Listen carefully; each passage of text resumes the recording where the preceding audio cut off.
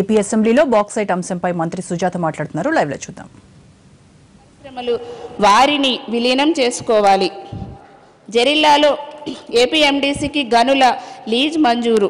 ఆంధ్రప్రదేశ్ ప్రభుత్వం ఈ విషయాన్ని జాగ్రత్తగా పరిశీలించి ముందస్తు ఆమోదాలు పొందటం కోసం ఏపీఎండీసీ యొక్క మైనింగ్ లీజు దరఖాస్తులను కేంద్ర ప్రభుత్వానికి పంపింది. కేంద్ర ప్రభుత్వం ఐదు పదకొండు రెండు వేల ఏడవ తేదీన నాలుగు మైనింగ్ లీజులకు సూత్రప్రాయ ఆమోదాన్ని తెలిపింది. జెరిలా గ్రూప్ నిక్షేపాలు block one two three and eighth Jerrila నిక్షేపాల కోసం గనుల త్రవ్వకం ప్రణాళికలను ఏపీఎండీసీ తయారు చేసింది. దానిని ముప్పై పదకొండు రెండు వేల ఏడవ తేదీన బ్లాక్లు వన్ టూ త్రీ అండ్ ఎయిత్ల కోసం భారత గనుల సంస్థ IBM Indian Bureau of Mines ఆమోదించింది.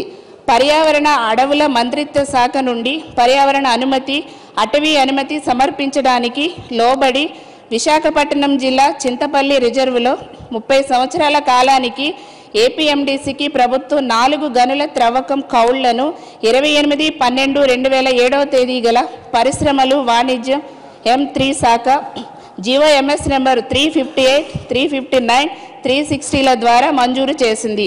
జీపీటీఏసీల నుండి తీర్మానాలు. Nineteen two two thousand and two ten two thousand eight తేదీన జెరీలా బ్లాకులలో one two three and eighth bauxite mining ప్రాజెక్టును చేపట్టడం కోసం ఏపీఎండిసి పేరట జెరీలా గ్రామ పంచాయతీ తీర్మానాన్ని ఆమోదించింది.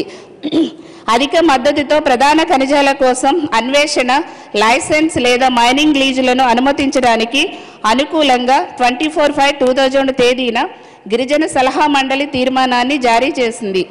పర్యావరణ అటవీ అనుమతులు.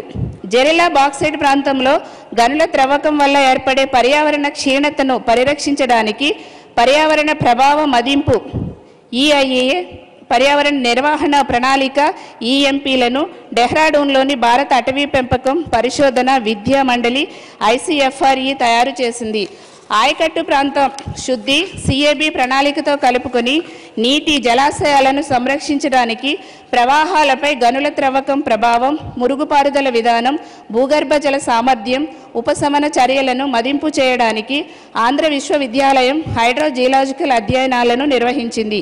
అటవీ ప్రాంత బదలాయింపు కోసం ఐదు సంవత్సరాల పాటు నిర్వహణతో కలుపుకొని నష్టభర్తీ అటవీ పెంపక వ్యయం నిమిత్తం ముప్పై ఒకటి పాయింట్ అరవై ఏడు కోట్ల మొత్తాన్ని కేంద్ర ప్రభుత్వ పర్యావరణ అటవీ మంత్రిత్వ శాఖకు తొంభై మూడు పాయింట్ తొమ్మిది వందల ముప్పై మూడు కోట్ల నికర విలువను ఏపీఎండీసీకి చెల్లించింది.